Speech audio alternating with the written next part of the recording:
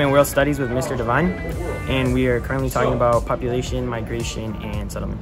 We just finished talking about a project, not a project, an, assignment, and we were just looking at the growth of different countries and the like their ages and what the expectancy is, like how much percentage in different countries, how how long they live, stuff like that. And I think after this, we're gonna talk about a project where we choose a country and have to study the population and the growth, the decrease, and when it like when did the population rise and why.